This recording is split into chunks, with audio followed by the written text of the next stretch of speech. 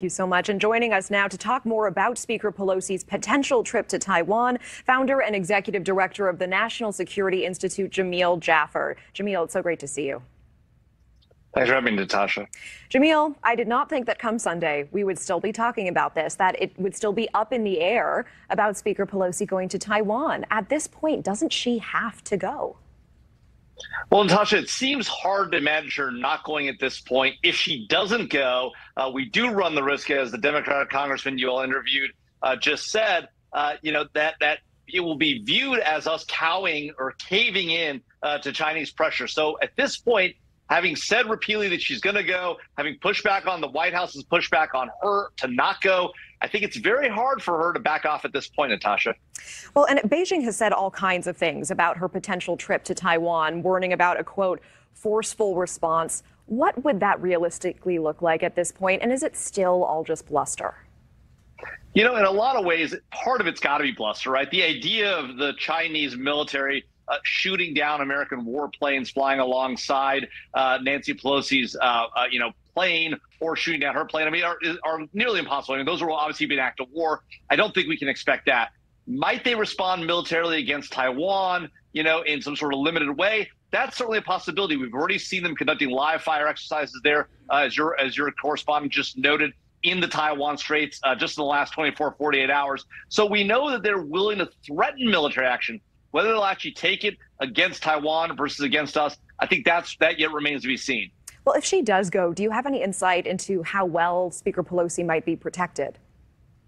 Well, you know, the, the U.S. government has made clear that they intend to protect her if she, in fact, goes. Uh, that's their responsibility. They will do that. Um, you know, whether they'll have warplanes fighting, fire, you know, flying alongside her. Uh, she'll obviously have a security detail alongside her, which is why uh, it's been it has been part of her clear her direct agenda as to when she's going to go and when she's going to arrive on the ground. But she'll have a strong set of people around her, or you know, strong protection around her. The question becomes though, what happens if the Chinese decide to fly a fighter just to just come alongside, right?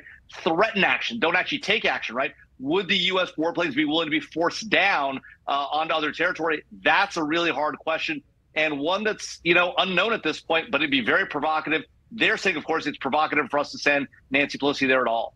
Well, meanwhile, you know, we are tracking in the background the likelihood of if and when China may decide to invade Taiwan, maybe even on a shorter timeline before the end of Biden's first term. I know we've spoken about this before. How do you think this whole back and forth has affected that likelihood or possibility?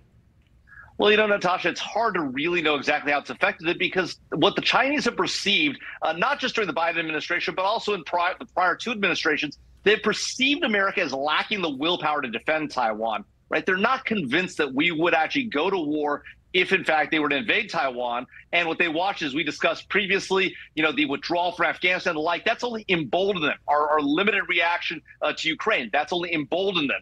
So now, with Nancy Pelosi going, they can claim, well, the U.S. is taking provocative action. Now is the time for us to get involved and make clear to the world and to the United States that Taiwan is, in fact, part of China. So they may actually view this as an opportunity to take action while still believing that the U.S. won't actually respond if they come across the Taiwan Straits.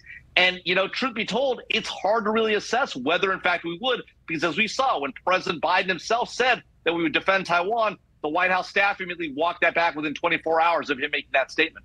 Jamil Jaffer, you know, hindsight, of course, is 2020. What should we have done from the very beginning of this situation? If we could, if we could rewind the back and forth and the endless speculation and the, the veiled threats, these not so veiled threats, what should we have done? Well, Natasha, I think it's clear. We should have been clear with China that we, we, we believe any invasion of Taiwan, any threats against Taiwan are a threat to American national security and will respond as such. We should have also been clear that American politicians travel wherever they want to go, whenever they want to go, and they don't stand by to threats by the Chinese Communist Party or the like, and that Nancy Pelosi was going to go, that she had the full backing of the White House, and that China was going to threaten her. They'd be threatening the United States. We didn't make any of that clear, unfortunately. We haven't even done that yet to date. And that's the real problem here is that the Chinese don't know whether we're serious. And when, when they're not sure, that can result in bad outcomes, even if it's just a strategic miscalculation by them. All right, Jamil Jaffer, we certainly appreciate your insight and your time. We'll keep tracking this, and we know you will too. Thank you.